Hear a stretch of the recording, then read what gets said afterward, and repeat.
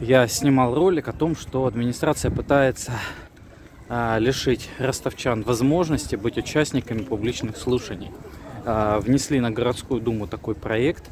А, слава богу, мы его вовремя увидели. Мы поняли, что там есть два пункта, которые реально создают просто э, препятствия для того, чтобы быть участником публичных слушаний. Мы в этом написали, я записывал предыдущий ролик, посмотрите его, пожалуйста. Так вот, э, спасибо большое всем депутатам, э, которые вот, отреагировали на мое обращение. Кто-то э, задал вопросы на Думе, кто-то переслал эти обращения в юридический отдел городской думы, которые проверяют все а, входящие предложения, потому что ну, они должны соответствовать федеральному законодательству, да, и там есть юристы специальные. И, собственно, было два предложения. Первое, а, убрать фразу о том, что участниками публичных слушаний могут быть все заинтересованные члены городского сообщества. Сама по себе странно. Вообще, зачем эту фразу убирать? Но ее хотели убрать, это правда. И второе, это о том, что лица, не являющиеся предложения и замечания лиц, не являющихся участниками публичных слушаний, а, носят консультативный характер и не рассматриваются. Это вот об этом я снимал предыдущий ролик. Это такая формулировка очень хитрая, в которую могут попасть вообще все. А, и в итоге никто не сможет участвовать и а, э, защищать свои права. Там, и даже если это не у вас там находится, ну, не ваш дом, да, но это может быть парк, а, где хотят сократить озеленение или еще какая-нибудь вредная гадость.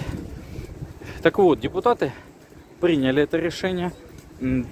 Первую фразу оставили о том, что участниками публичных слушаний могут быть все члены городского сообщества.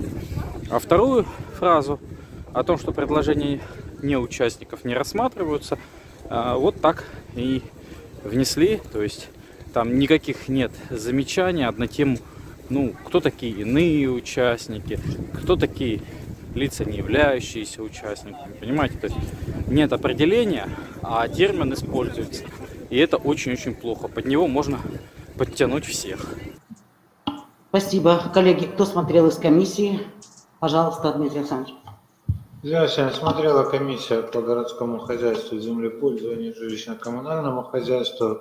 Мы подробно рассматривали его на слушаниях. Это приведение в соответствие первое, то, что э, внесли изменения в градостроительный кодекс в отношении территорий, подлежащих э, комплексному развитию.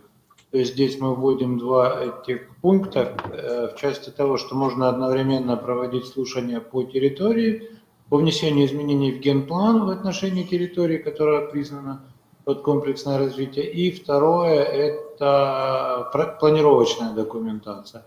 А второе, то, что если в отношении территории при, принято решение о ее комплексном развитии, нельзя изменять э, разрешенные виды использования ни земельного участка, ни строений, расположенных в границах данной зоны. Это два основных изменения. Понятно. Пожалуйста, вопросы. У депутатов есть вопросы? Нет вопросов.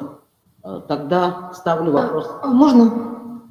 Не вопрос, а э, некая у нас, э, значит, юристы фракции КПРФ рассмотрели данные внесенные поправки, и возник, ну, я не знаю, кто ответит, комиссия или вы, а, формулировка части 5 статьи 11 противоречит и искажает кадастроительный кодекс Российской Федерации, статью 5.1, пункт 18.5, где есть э, показания «иные участники». То есть у нас вводится такое понятие, у нас есть участники, есть иные участники. Не будет ли данный пункт ограничением тому, что на данных общественных слушаниях будут принимать участие только те лица, которые включены в данную территорию, территорию проживания, а иные лица, которые имеют экспертную оценку, которые могут высказать э, авторитетное мнение, будут исключены.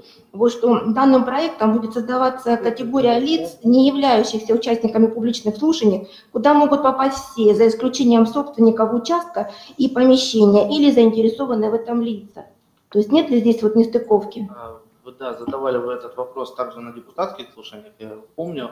А, нет, наоборот, проект расширяет, то есть круг лиц. Ранее указывалось, они фигурировали только в цифре, вот эти лица, эту категорию мы вводим, они фигурировали только в цифре участников, а теперь их предложения будут публиковаться.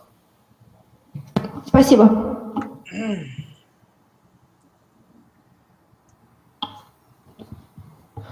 Так, коллеги, на вопрос ответили. Можно ставить на голосование? Ставлю вопрос на голосование в целом. За, против, воздержались. Решение принято единогласно. Спасибо.